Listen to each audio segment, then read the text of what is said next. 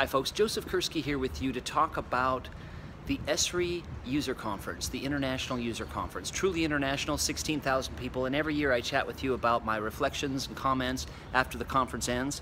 And this year's no exception, so thanks for being with me. First of all, I think one of the themes this year was definitely GIS across themes, across disciplines, across scale. The GIS is really becoming a language of problem solving, I'll call it.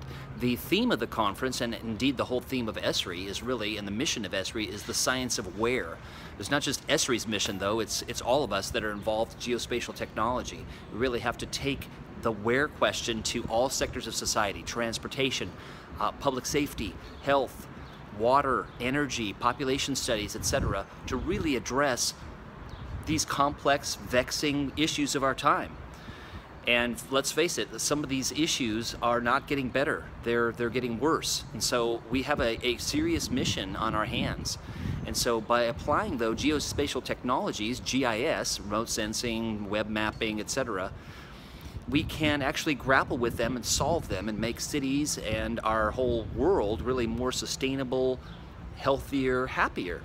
And so that is one of the things that I wanted to, uh, the one of the things I wanted to share with you all, GIS across all sectors of society. The second one is the web GIS paradigm. It's not just let's do GIS in the cloud that we used to do on desktop. No, it's a combination of different web mapping services, data, um, procedures, models that we can share and collaborate and solve these problems that I mentioned in the first point. But the whole web GIS paradigm is, is rapidly changing how organizations actually work and communicate. So that's pretty exciting.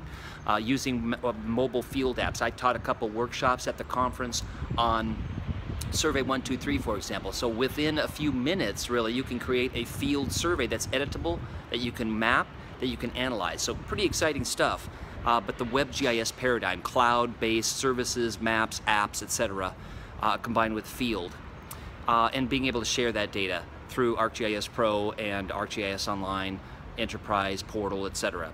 Uh, the number three theme I'd like to share on the conference, again, this is the ESRI GIS Education Conference and the ESRI International User Conference, both of those things held in San Diego, July 2017, is that GIS can be used by students across all disciplines and across all levels. Formal education, informal education, we saw some 4-H students on the plenary stage on Monday this week, and they rocked it. They were awesome.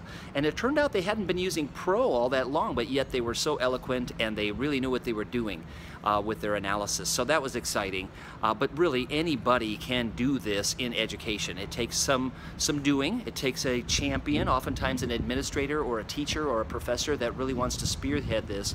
But um, it's, it's, it's quite an exciting time with GIS in education. Again, primary, secondary, and community college, university, and lifelong learning, formal and informal. And then lastly, I'd just like to share that GIS, uh, to me, in this conference, especially this year, adds value. It adds value to organizations. One of the things that in the plenary that was highlighted was that story from the United Parcel Service, or UPS, that they saved $300 million using GIS to streamline and make their operations more efficient. Their airplanes, their trucks, their, their uh, package delivery, supply chain management, the whole bit. So that's pretty exciting when you realize the value, but it's not just the monetary value. GIS adds value to decision making, makes decisions more holistic, uh, smarter, more sustainable, and so on, and more wise use of, of resources, again, so that we can have a sustainable future in the 21st century and beyond.